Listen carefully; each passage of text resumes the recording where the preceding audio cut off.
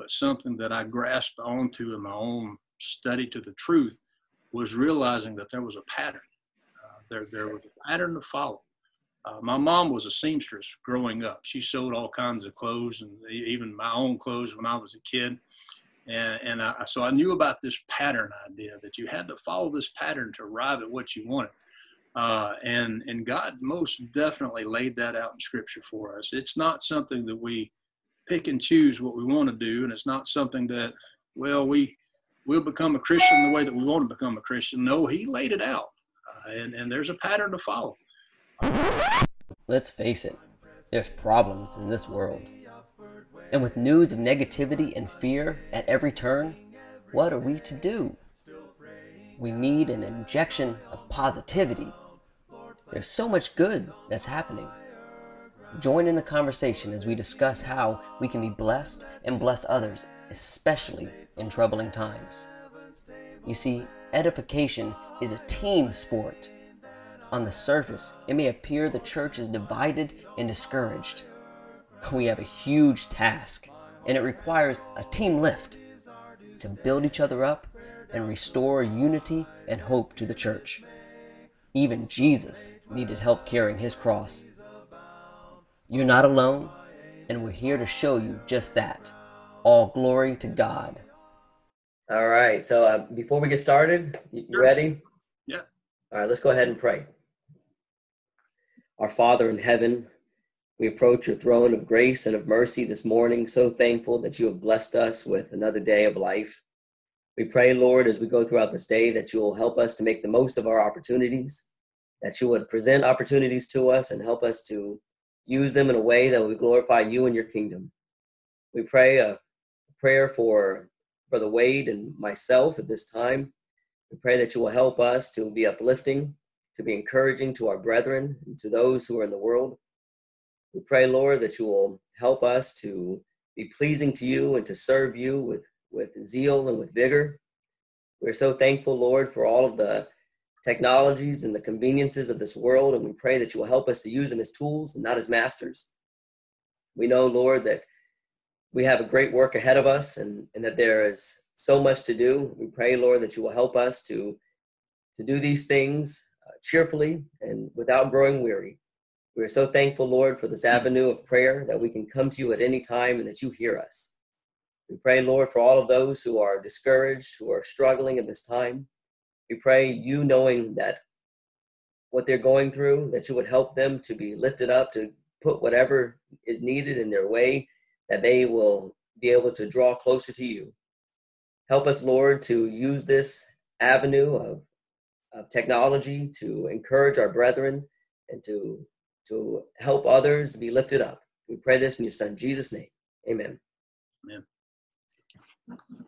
All right, Wade, thank you so much again for coming and, and chatting with me this morning. And, and I know that you you, you have uh, just moved down here from the coast or to the coast from from South Carolina, and, and you came down. Um, I want to say last last summer. It was sometime last year, before all the the COVID stuff happened, and and uh, you met with us and, and talked to us a little bit about about what you're doing. Can you tell me a little bit about uh, what your normal uh, work is? I guess.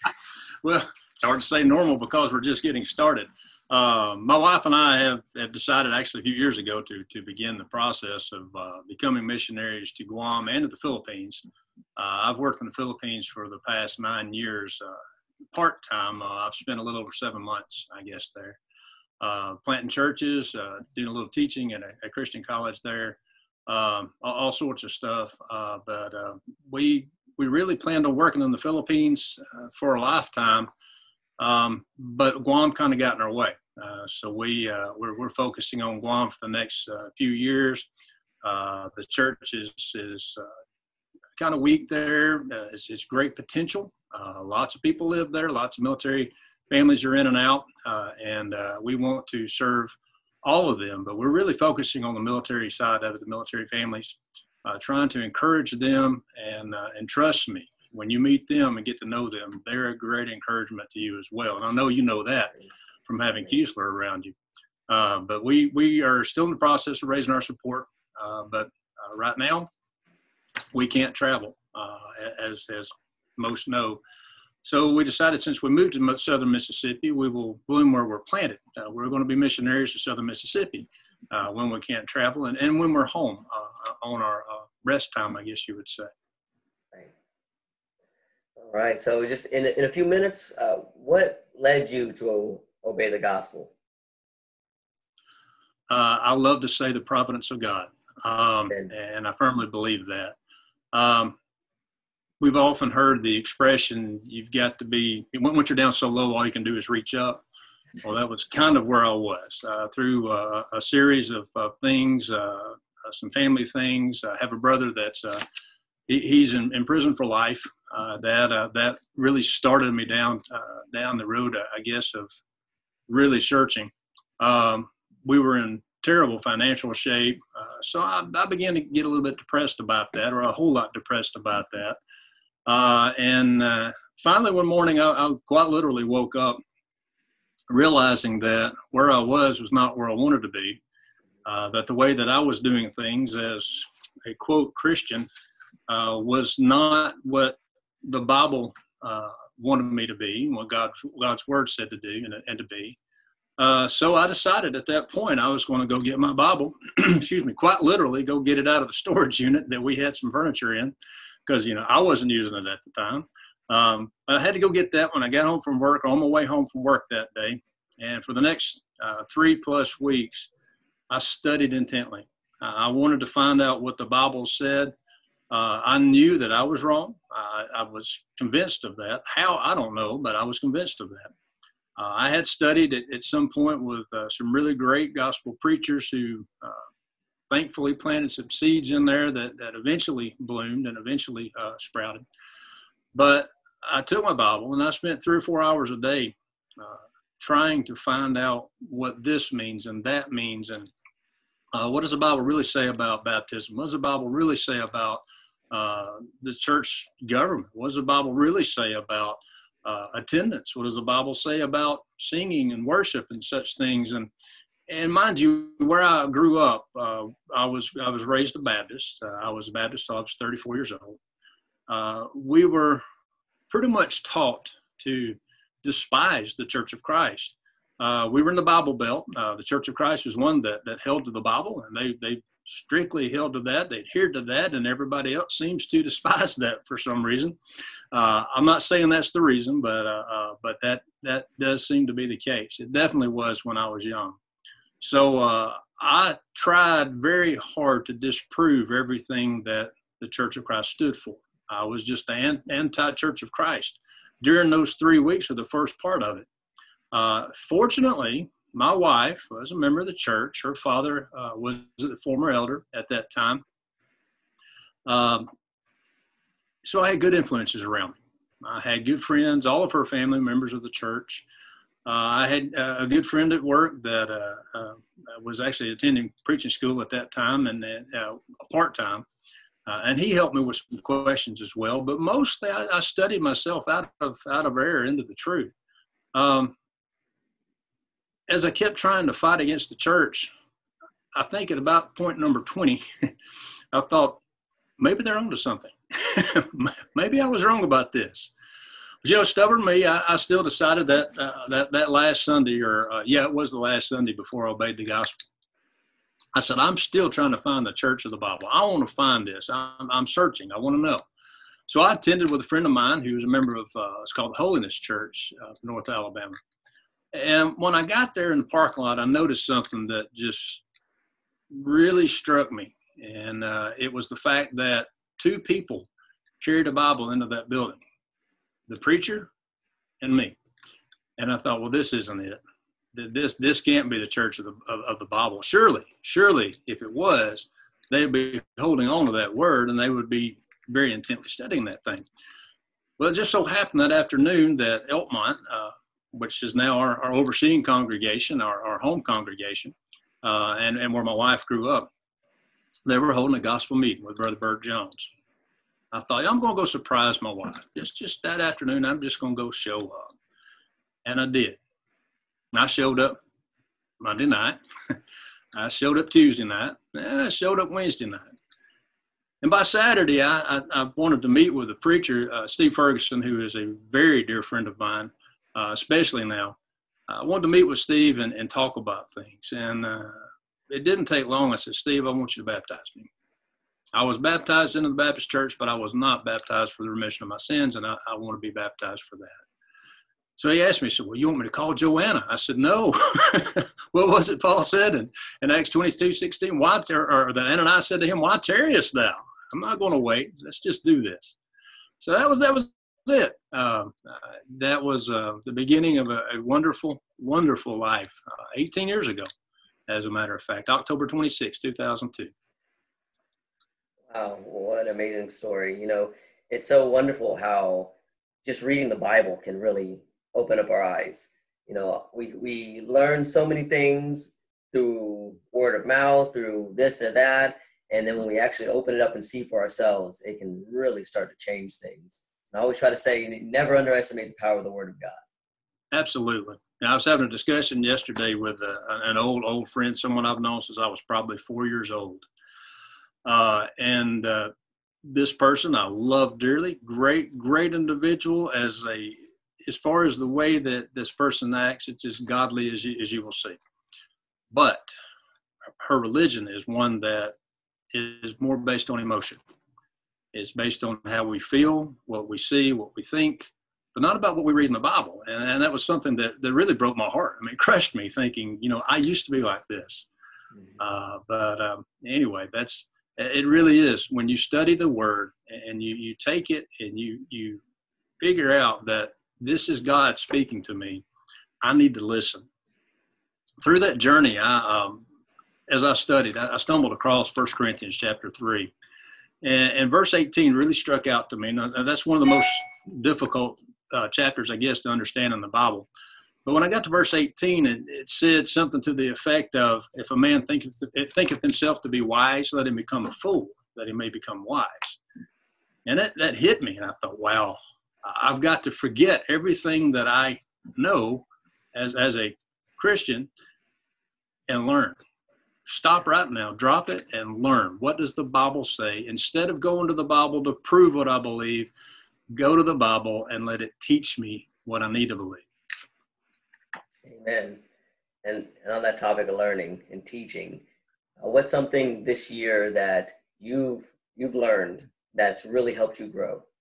A couple of things. Um, this when I was answering your questions beforehand, I, I had to go back and rewrite several times, uh, but I tried to narrow it down. But you know, number one, this this year that I've learned is Christians need each other, uh, and we need each other often.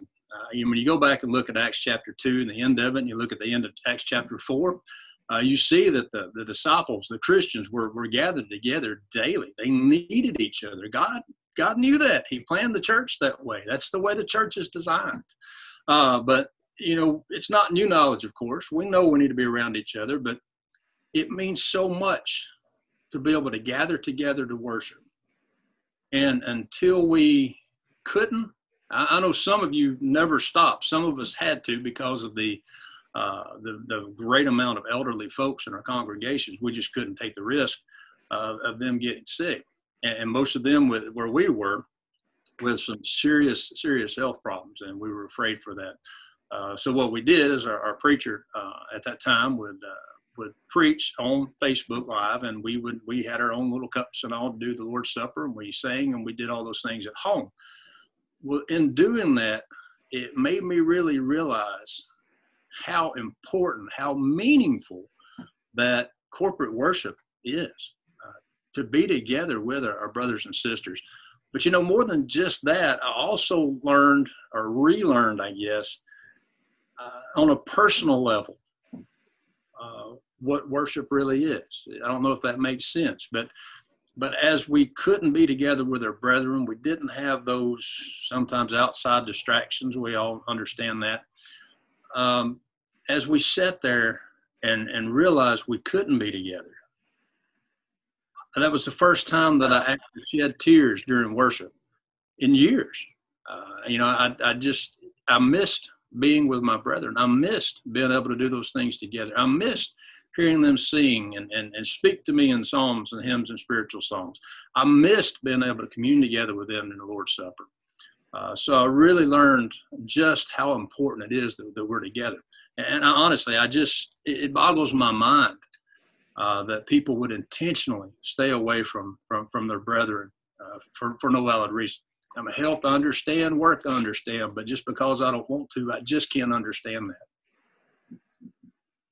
So this year has been like like we've all known it's been a whirlwind for all of us it's been up and down and all over the place and we don't even know what to expect tomorrow as as always but but it's just been extra this year and what, what are some positive things some good news that, that you've had this year this past six months or so um positive experience good news honestly uh, as we talked about uh, before we started the meeting here, God has blessed us so very much this year. In, in a weird year, off year, and of course on the coast, we know it's, it's really been a strange year with all the storms coming in on top of uh, the COVID problem, and of course that's spiking down here in South uh, Mississippi.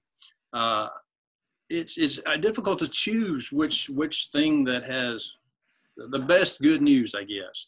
Um, I guess narrow it down, uh, it's the fact that we've we've not only retained the uh, the financial support that we had gained, uh, but we've also gained a little bit. Uh, for for us personally in our work, of course, we have to seek support from congregations and individuals, um, and it's a difficult process.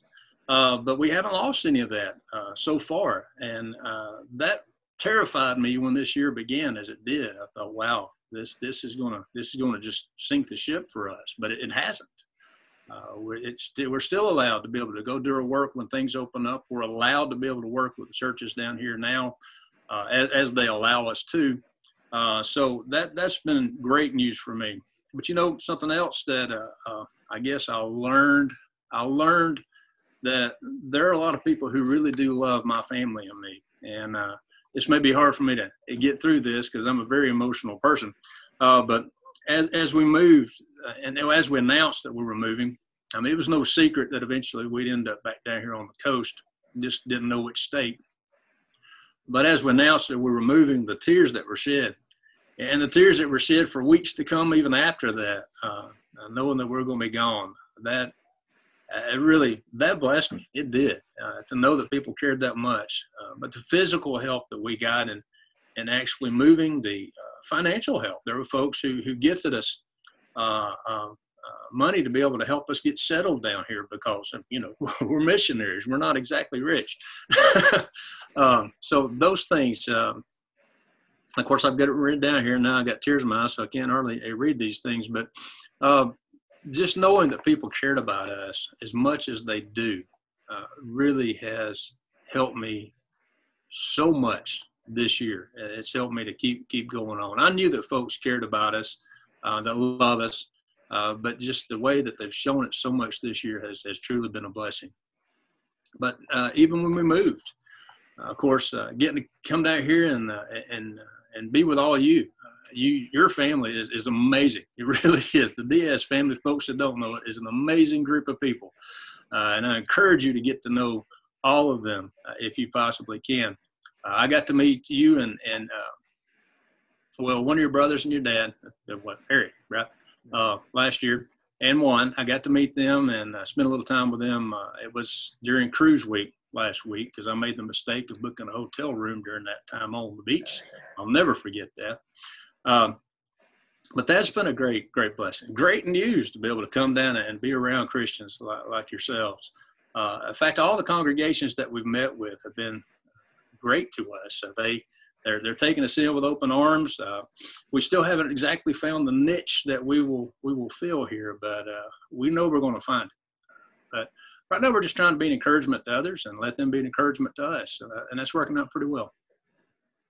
Wonderful. You know, it's it's one of those things. I I, I love the the story you shared with you know how how uncertain things are right now, and and sometimes we we when we see these things, we draw assumptions that that aren't necessarily warranted. Like like you were saying, you, you didn't know where your support was going to come from with all the things that are happening, but yet it increased and, and, it, and it stayed it stayed there. And and it's just wonderful to hear these things that even though things seem fall like they're falling apart all around us, things seem like they're they're divided or or whatever it may be on the surface. But then really when we look at it and when we when we see God will always provide for us. God is always in control. Amen, brother. And and it's an amazing thing. It's an amazing thing.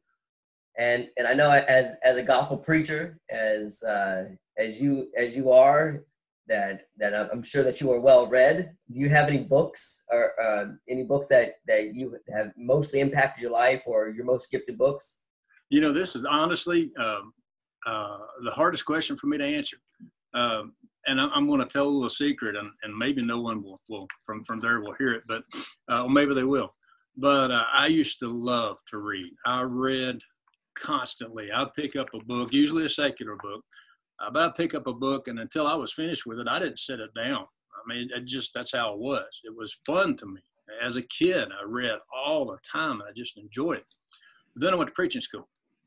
when I went to preaching school, I was forced to read all the time, and it just took the fun out of it. Uh, so uh, I don't read as much as I used to, uh, and I, that's sad to say. I do still read some, uh, but as I was thinking of this, I, I, thought back to one of the first books that I read uh, as a new Christian, and I, I probably bought this book uh, probably November of 2002, right after I obeyed the gospel, and it's called The Gospel Plan of Salvation by T.W. Brents. Uh, T.W. Brents was from a little town in southern Tennessee, Fayetteville, where we actually lived right before I obeyed the gospel, strangely enough. Uh, but the book was written in the late 1800s. It was written in the, the, prose or the language of that day, and it was written in the style of, of preachers of that day. And what I mean by that is there was no sugarcoating the truth. He told it like it was. It might have even come across as abrasive at times, but he laid it out there and it was up to the reader to pick it up. Uh, and you know, while we always have to remember to speak the truth in love, uh, Ephesians 4:15, but that is the right verse, right? It's early in the morning. um, but we have to lay it out there. And sometimes I think we're so afraid that we're going to hurt feelings. We're so afraid that we're going to turn somebody off that we just don't tell them what they need to hear. Uh, the world has told us that love is accepting things, but the Bible tells us that love is warning them uh, and, and, telling them the truth. And that's why I guess I appreciated that book so much. In fact, I've got to go back and read that. Um, and see, from there on, I'm trying to think of a couple more, and I actually wrote these down. Um, again, uh, I, I, think I told you this jokingly the other day. You Your father won uh, so many surgeries, so many concussions. I just can't remember things like I should be able to. But um, hermeneutics, yeah, the book, uh, the book hermeneutics uh, by Dungan or Dungan's students, I guess actually, uh, really, really influenced me, helped me to understand how to interpret and, and why we interpret as we do, and and then of course that led to how did we arrive at the beliefs that we hold uh, hold so firm and so true. And it's because we use the the principles, the the rules of interpretation, uh, and that's how we arrived at it. Uh, you know, and when you use those things in the Bible as you would any other book, brother, I believe we'll arrive exactly where we have. There might be a thing or two that we might not have a hundred percent uh, correct, but when it comes to the worship of God, the corporate worship, when it comes to the uh, the authority of the Bible, authority of the scriptures when it comes to uh, the, the government of the church, when it comes to uh, all of these things that we really are, some say dogmatic about, uh, I'm convinced that we're right because we've interpreted the Bible just as we would any other book and arrived at these conclusions. Uh, two others, real quickly Piloting the Strait by, by Dave Miller. Uh, a great book, and then uh, the late brother uh, Goebel Music. Um, I've lost the name of it here. I know I know this one. Uh, uh, yeah, Behold the Pattern. Um, you know, that's something that uh, I read, of course, in school, but something that I grasped onto in my own study to the truth was realizing that there was a pattern. Uh, there, there was a pattern to follow. Uh, my mom was a seamstress growing up. She sewed all kinds of clothes and even my own clothes when I was a kid. And, and I, so I knew about this pattern idea that you had to follow this pattern to arrive at what you wanted. Uh, and and God most definitely laid that out in Scripture for us. It's not something that we pick and choose what we want to do, and it's not something that well we we'll become a Christian the way that we want to become a Christian. No, He laid it out, uh, and and there's a pattern to follow. Uh, so I appreciate that book uh, because it shows us through Scripture there's there's a pattern to, pretty much everything. Amen. Thank you for sharing those. Those are some those are some real good books there. I have a couple of those in my own library. I probably need to dust off and, and revisit some of those. Yeah, we do. uh, yeah, yeah. So so thinking back in your life and and your your ups and downs and twists and turns, what failure or apparent failure had set you up for a later success? I'm trying to keep this upbeat, and and at the end of this, you'll figure out that it is. But it's going to be a little bit negative to arrive at a positive. I know we're trying to encourage folks, and I, and I hope that this does. But my biggest failure, I made the mistake uh, of, of uh, once thinking I was going to work, going to work with a particular uh, missionary, uh, while in his mind I was going to be working for him. You know, there's there's a big difference there. There's a huge difference uh, philosophically, uh, working with and working for. Uh, well, I'm one of those that that tends to think outside the box. I think independently. I try to look at, at what's right. I'm, i try to be a good steward of, of, the Lord's money. I try to be compassionate. I'm, I'm very passionate about everything.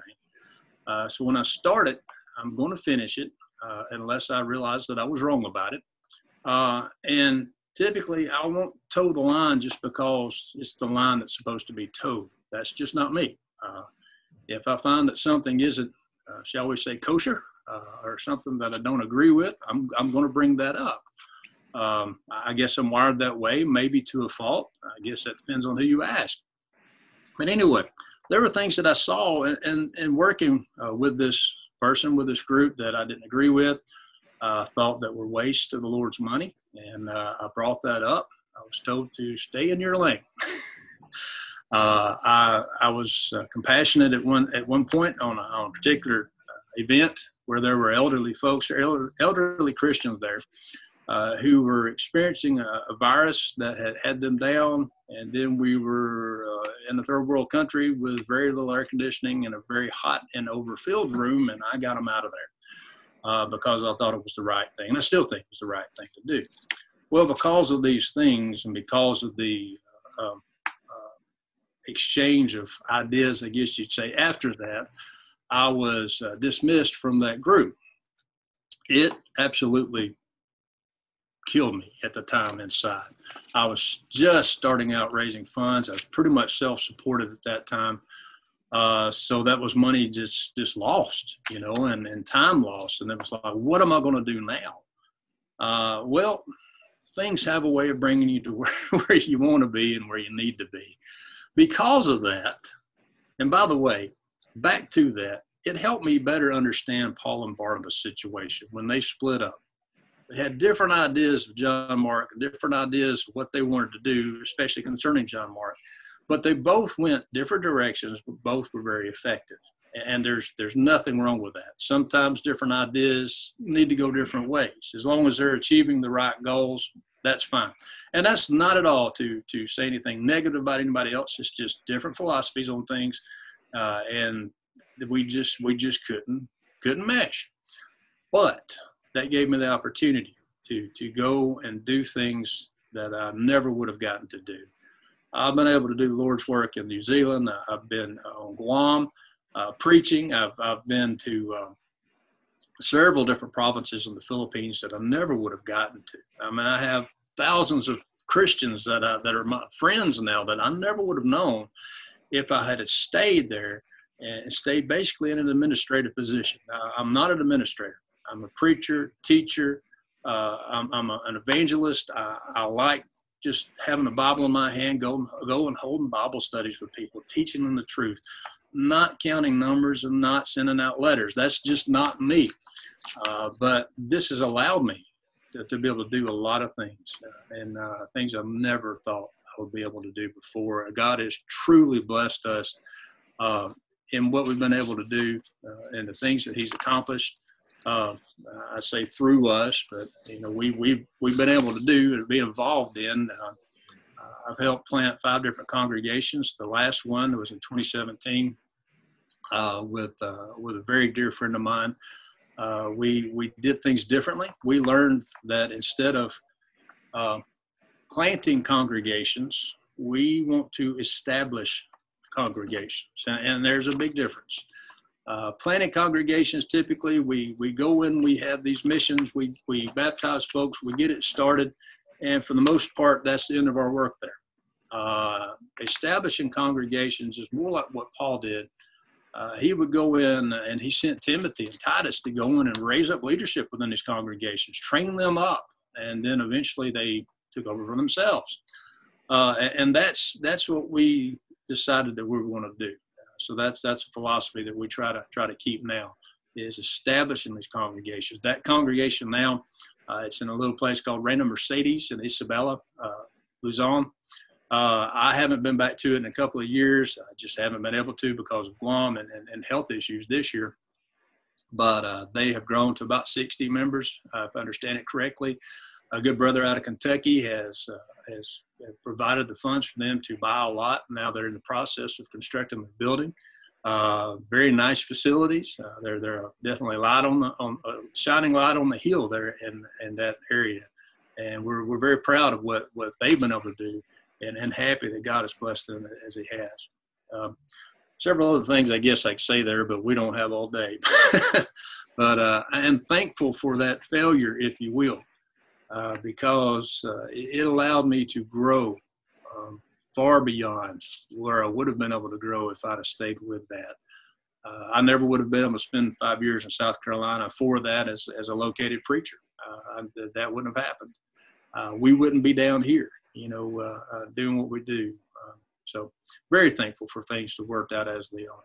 No hard feelings at all in that, by the way. It's just uh, different ideas it's it's great that you can look at things like that and that we can take these apparent failures and really turn them into positives and it, it's so important for us to remember that so important for us as christians to have that perspective because there's always going to be we we as humans have have things set in our minds you know we have a certain thing you know whether it's right or not you know we, we it's just how we make sense of the world but oftentimes when things don't go our way or it's not or it goes unexpected it can really derail us. And to have the perspective like you're talking about, to have that say, well, God is in control, and and like uh, a, a, brother just said that when, when when God closes the door, He opens a window. Yes. And and and this is something that we can really uh, internalize in ourselves, and when we have these these uh, obstacles, we can really turn them into positives. Oh, no doubt. You know, when uh, right after this happened, a, a very dear friend of mine uh, with whom I've worked in several missions over there, over in the Philippines, um, he called me as soon as he learned about it. He called me, and he was involved with this group too. And he said, "Brother, I'm just I'm just hoping this this doesn't make you leave the church." And I said, "Man, why would I leave the church? what has the church done to me?" right. Uh, but no, it had nothing to do with that. It was just just just personalities, and uh, uh, I'm I'm very thankful that uh, I've had good people around me to keep my head up and, and to keep me focused and to keep me going. Um, so, so yeah, I appreciate the, the good words there. It, it's so good. We have to have those those group of people around us that can help us through those valleys because if not, we can start blaming things on God and, and start making excuses and and and you know do something that we wouldn't normally have done. Yeah. So so when you think of um, all of your learning, all all the things that come through your life. Do you have any quotes that you think of often, or that you you live your life by? Uh, don't really have any quotes, but some things that my dad uh, kind of instilled in me, and I guess one of those things, most importantly, and I, and I've I've said this from the pulpit even. Uh, he taught me that when you see something that needs to be done, do it. Uh, when you see somebody that needs food, feed them. When you see somebody that needs help, you just go help them. You see a door that needs to be held open or, or, or, anything like that. You see a piece of garbage on the, on the ground, just go pick it up. Don't look for a pat on the back or wait for congratulations. Just, just go do it. the joy of, of knowing that you've just done something that needed to be done is, is, is plenty of reward. Uh, and that's, that's the way he was. In fact, my dad died at the age of 59, giving furniture away uh, to to a couple that didn't have anything. He just killed over on the front porch and died. Uh, so uh, at least he died doing what Dad did. Uh, so that definitely has stuck with me. Um, I always try to be someone who just jumps in and does things. Uh, we've of course, you know, now down here, uh, trying to jump in and find what needs to be done and, and, and help out in any way that we can. Uh, the community we live in, um, we found opportunities to, to work, and we're hoping that as we work and do things physically, uh, that we can give a good example of, of godly people uh, and show what Christians really are. And I think we're beginning, definitely getting to be uh, respected uh, because of the way that we don't talk, the things that we don't do uh, as well as the things that we do. So yeah, uh, and there was another one, and, and um, again, I got to put my old man glasses on here. Um, another one is is work smart, not hard.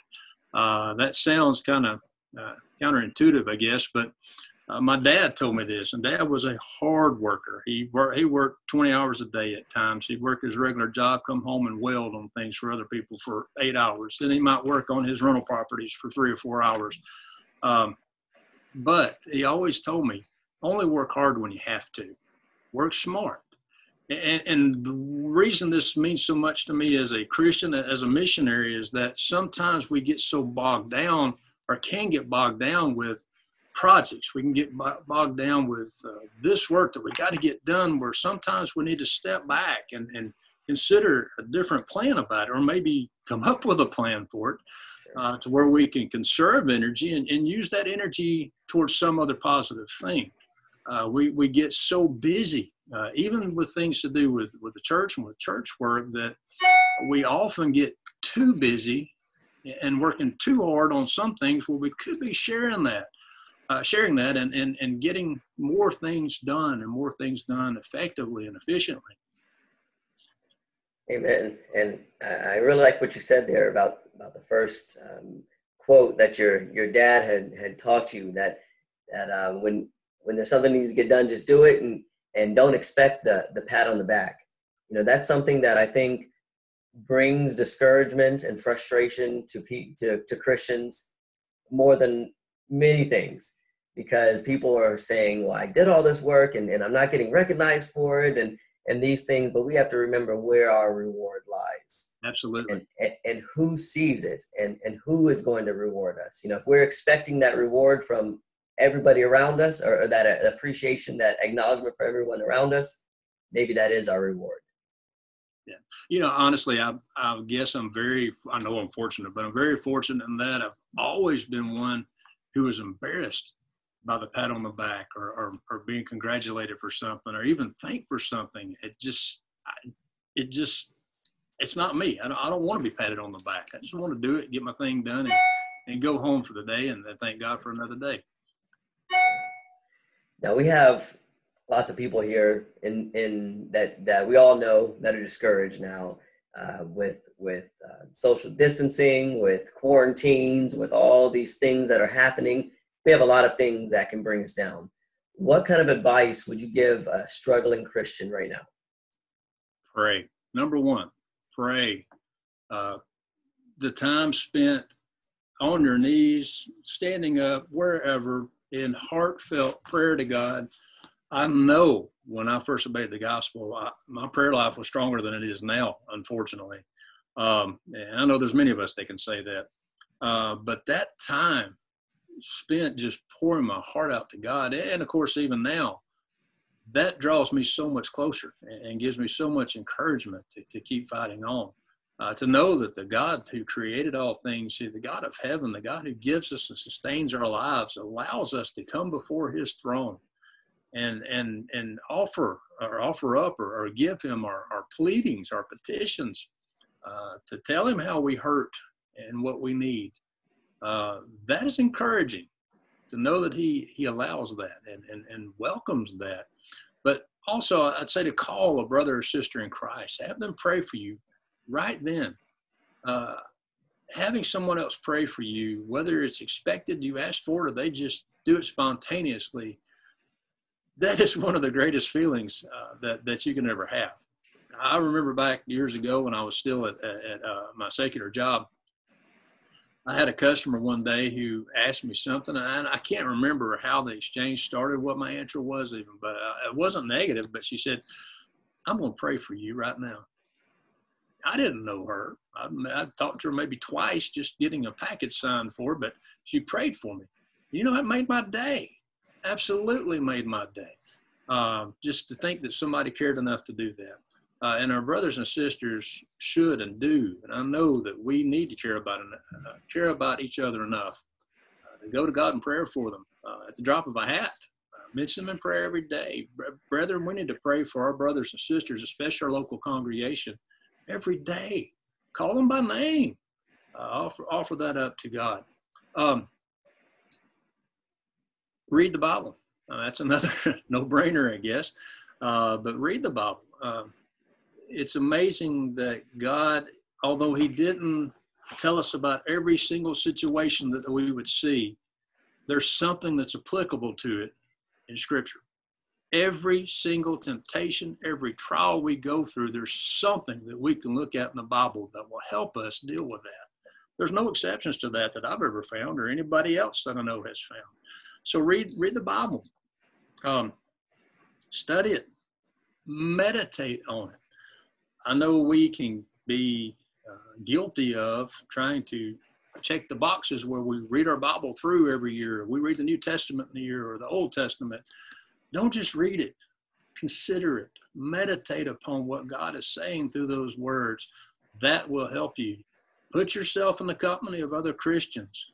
Get out of the rut of being around the same folks that are bringing you down and get around good Christian people who are positive thinking, who want to go to heaven and want you to go to heaven, uh, that will help. Uh, get busy and serve. Uh, it's amazing how uh, just doing some, something for somebody else can bring you up out of a rut so so quickly. Uh, and of course, number one is just don't give up. just don't give up. Uh, there is hope.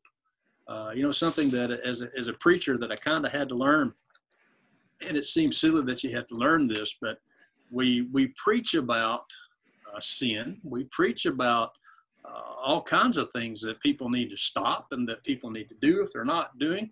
Uh, but if we don't preach about hope and don't give them hope, what's the point? Uh, and, and, and for everyone, um, there's hope. Every sermon ought to give you hope, even if it's at the end when we give the, the gospel plan of salvation. There's hope in that.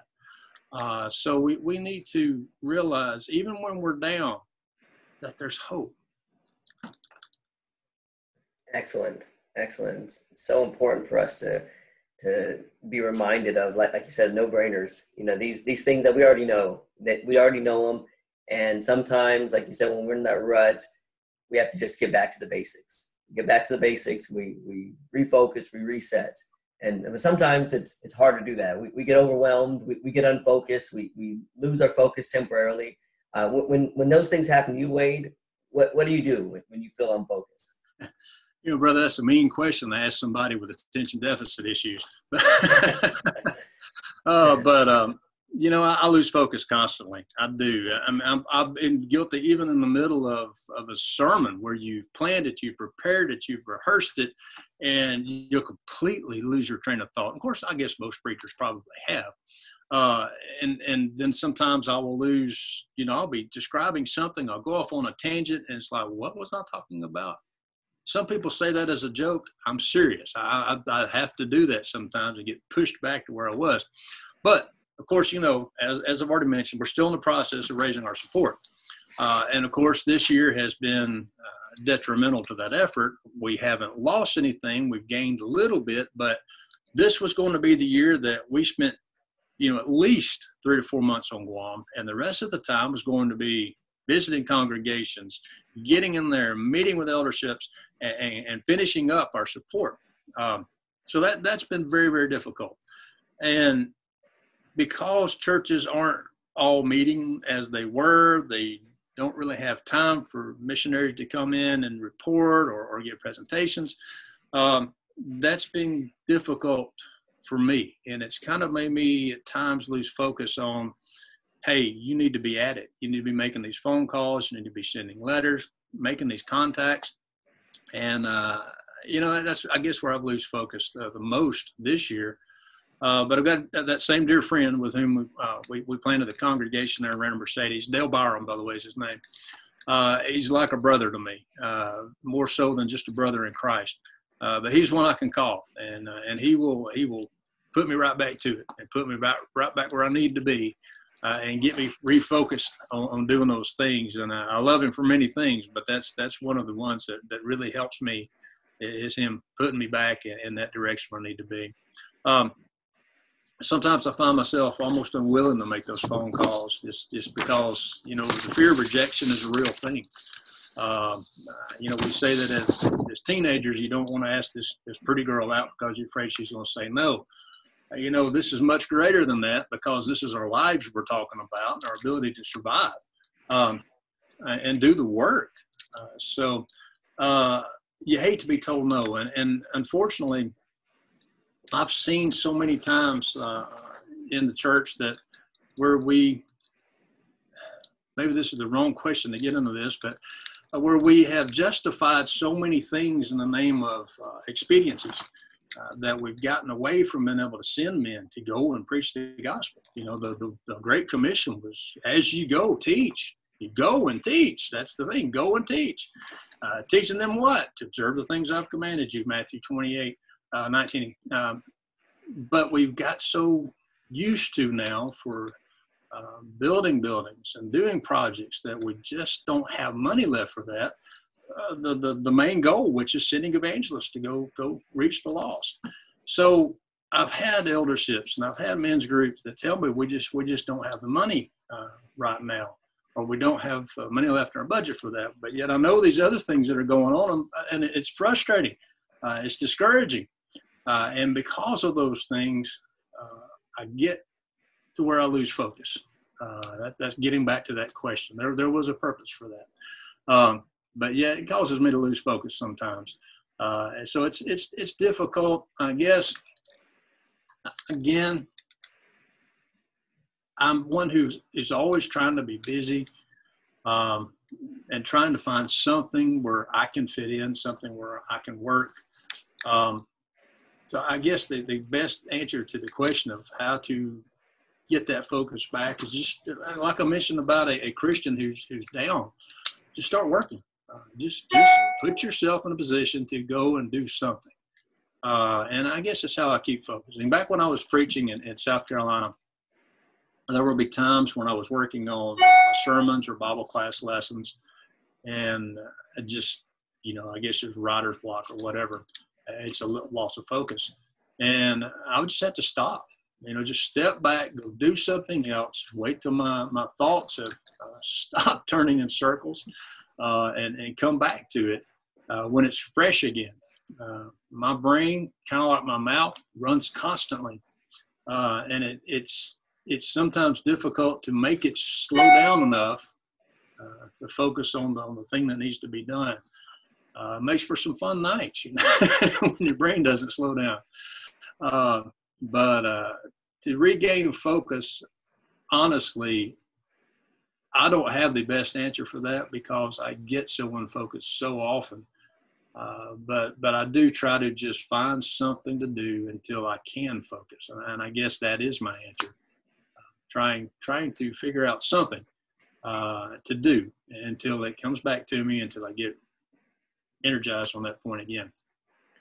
Sorry to ramble so much on that. Hey, hey, hey I, I, yeah, yeah, I, I, think that, but I think that's an excellent, excellent uh, illustration there that you, you use. You know, you some of us, our our brains are just going a mile a minute, and, and it's easier for some people to stay focused than others. And and a lot of people, um, what do you do when you can't stay focused? A lot of people will just say, "Well, that's just me," and then they just give up and, and not do anything. But but you had you mentioned several things. You know, you talked about, you know, you you call you call a brother that you know that can, hey, this is where you're supposed to be. You know that that can remind you where you where you need to be. You take breaks on things. You you go and do something else until you can kind of um, you know get back to that even kill and and and you can okay yeah, that's exactly what I need to be doing.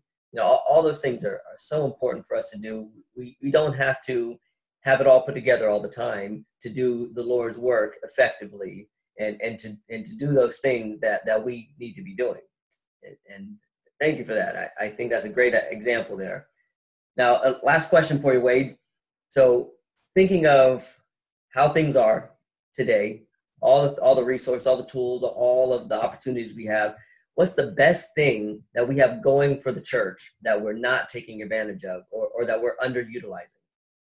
I've got a long answer to this because I've got more than one answer. But the best thing that we have going for the church that we're not utilizing is truth. We're just not using the truth as well as we could be, as well as we should. We, uh, I mentioned this a minute ago. We've been so dulled from from being the razor sharp tools that that God expects us to be. Uh, we are we, we're afraid of ridicule. We're afraid of rejection. We're afraid of argument. Uh, we're afraid we're going to hurt somebody's feelings. You know, all we have to do is tell the truth.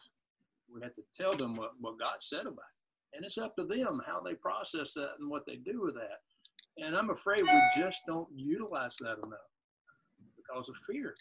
Um, what defines, and I'm going to ask you a question here, what defines successful evangelism? What in your mind is successful evangelism? In my mind, successful evangelism is is doing what what God tells us to do. You know, we look back at Noah. We look back at at these these uh, individuals that that preach righteousness for for many many years with with no response. A lot of people will, will define success in numbers. That they'll they'll want to quantify it in a way um, which which may or may not be the case because you know it depends on the hearts it depends on uh, many things we have we have men like peter in acts 2 who who preach a sermon and you have all of these people obey. You have and then you have the the same or similar sermon preached in acts 7 with with stephen and they kill him. And and so you know is one was one more successful than the other? Did one have a better approach than the other? I don't think so. I, I think it's it's uh, like you said truth. Brother give yourself a pat on the back. You got the answer. Exactly correct. You know, so so many people when you ask them that question, well, it's when you have so and so many baptisms or so and so many things happen here and so many churches. No, successful evangelism is doing what God said to do, and that's go and teach the gospel, go and preach the gospel. That's success. Uh, we can't make people uh, choose to obey the gospel. We can't make people choose to change their lives, but we can make ourselves go and do what God said to do, and that's go and offer them that opportunity. Um, we're worried about hurting feelings. We're in the wrong business. it's just that's just how it is. Uh, the gospel, all in itself, uh, is going to hurt feelings. It's, it's going to convict. Uh, we look at the first Christians in Acts, ones that first became Christians in Acts chapter two. Just they were pricked in their hearts. They were cut. They were hurt because they realized they had murdered Jesus, the Son of God uh, it's supposed to offend us to make us want to change. Um, there's no way that we can uh, take away the command to speak the truth in love, of course, but love is, is showing them what they need. Uh, but as a group, I think that we don't use our resources as well as we should. I mean, as the churches of Christ and even as, as congregations, we don't use the energy of our youth enough. They have a lot to offer uh, yes, they need to be guided because if not, they can very quickly go off in a direction that, that they should not go, and we don't want them to go. But they have energy. They got a lot, to, a lot to offer, and including fresh ideas about how to do things and technology. You know, they're they're wizards at these things. They can help us in that. Uh, but uh, sometimes they can even impart wisdom to us uh, because they they see things a little different than we did. I mean, brother, it's been you know, a long time since I was a teenager. I'm not to say how many years, uh, but uh, I don't see things the way they do, and I didn't go through the things that they go through now. Uh, so they can help us. Uh, we don't use the wisdom of the aged enough. Uh, most of them didn't get there by being stupid. I mean, they, they didn't get to be old by, by doing dumb things. Uh, and even if they did make it there by, by doing dumb things, they've learned from.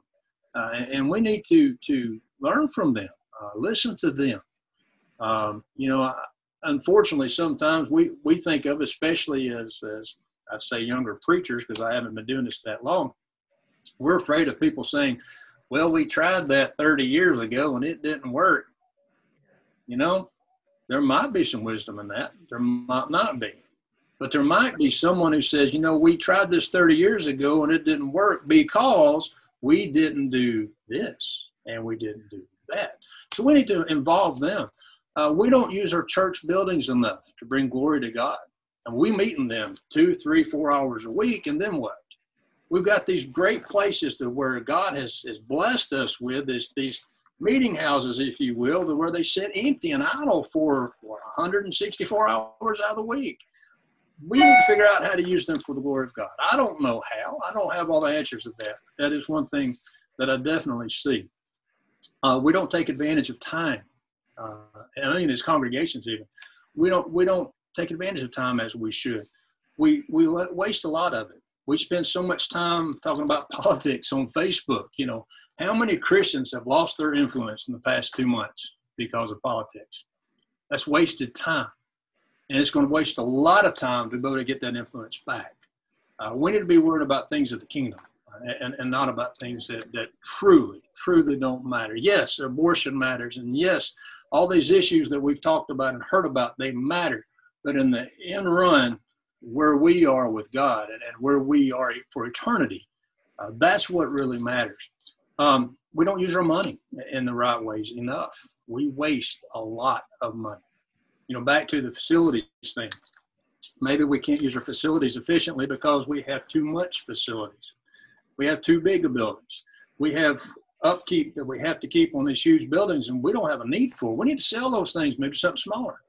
Maybe we have spent so much in remodeling and revamping to where we're trying to make it attractive from the outside that we forget about we need to be making the church right on the inside.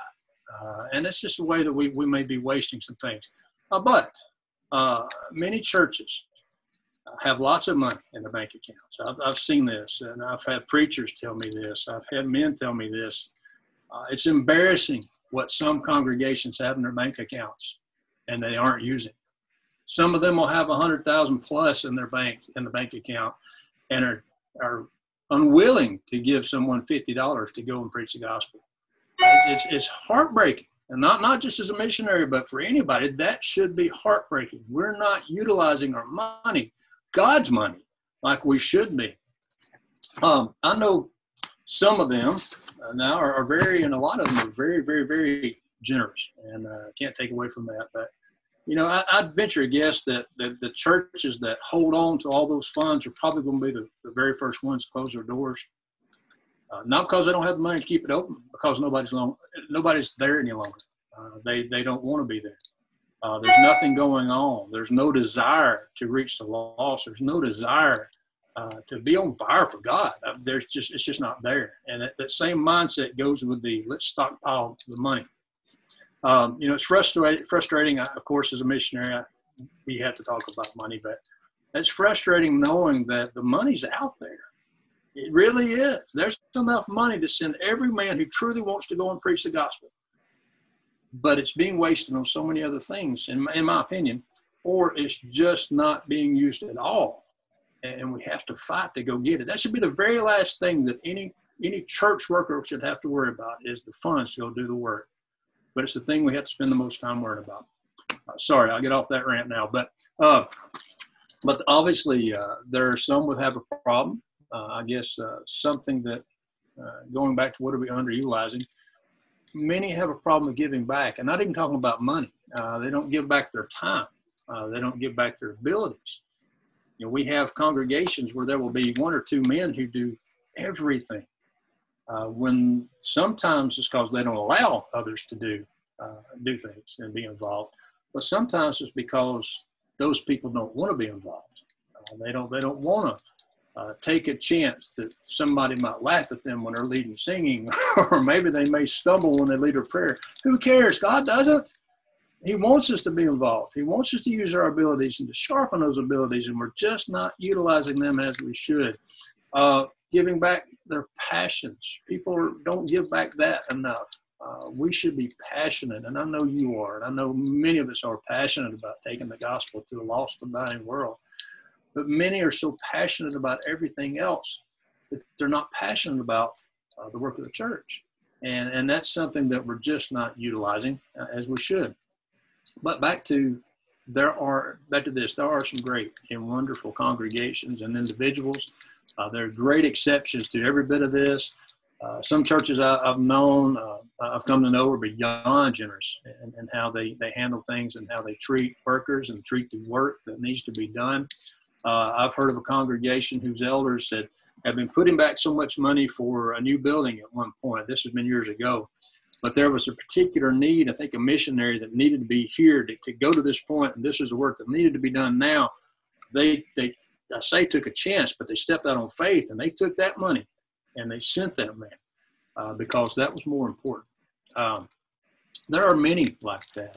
Uh, but you know, you mentioned this a while ago. A while ago, God will provide, um, and that He will provide workers. He will provide uh, the the necessary funds to do the work. He's going to provide uh, the passion through people who have that passion. Um, you know, I've got a I've got some supporters, or I say we've got some supporters that um, yeah, it tingles my spine when I think about uh, how generous they are and what they do. We've got a couple that are 24 and 23 years old, recently married. Uh, they send between 350 and 400 dollars a month to our mission fund. That's a young couple, great Christian couple. What could they do with that money every month? When I was 23 and 24, what could I do with that? So there are great exceptions to, to these things. They they know there's a need and they they work to fill that need. I've got a, a lady who's a great great friend of ours, a widow who, uh, when her when her crop dividends come back every year, you know, money she gets royalties from from her farmland. Uh, first thing she does is, I think to us and then one other, she she sits down and writes a check. Uh, you know, those are the people who truly are passionate about, about doing the work and sending those folks. So there are definitely exceptions to those not utilizing what they have. Uh, but as a whole, I think uh, we really need to step back and look at these things our, our passions, our money, our, our abilities, our time, our facilities. Uh, what are we not utilizing uh, to the glory of God? Uh, he's given it to us, so why aren't we using it for Him? And I, I heard, heard you heard you say several times that these are the, the exceptions, and and you know that that might be the case, but I, I think also we can see them as they're the examples. Yeah, you know, yeah. they're they're the pattern. They're the ones who are who are applying. You know what what we all should be applying. What we all should be striving to do.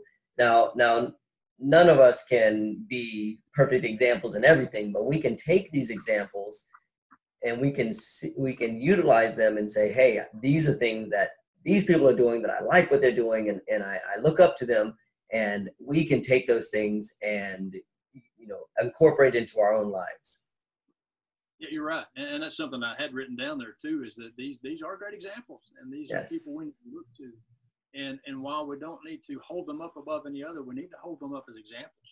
We really do and, and, and let folks know that hey there are people who will do this Amen. Well, Wade, thank you so much for coming, taking the time today to meet with me to talk about some positive things, some encouraging things.